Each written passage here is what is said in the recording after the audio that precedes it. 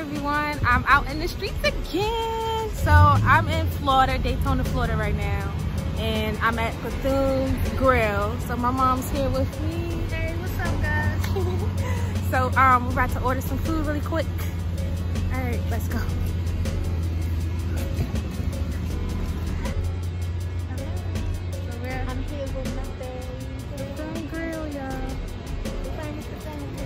Alright guys, so I'm um, finally inside School now.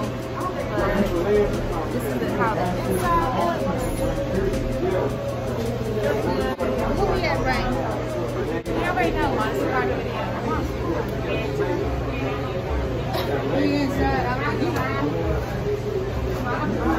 Inside, waiting for waiting to order, trying to follow the COVID line.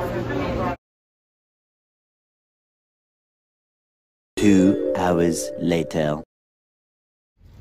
Yeah, we still waiting for our food. I'm tired. This better be worth it. That's all I gotta say. It better be worth it.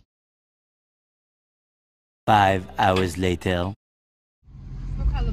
So guys, I finally got my food. I'm so tired sitting out in this heat. My hair then bushed up, everything. But it is the food right here. I started munching on the fries already. Let's try this chicken wing. Mm.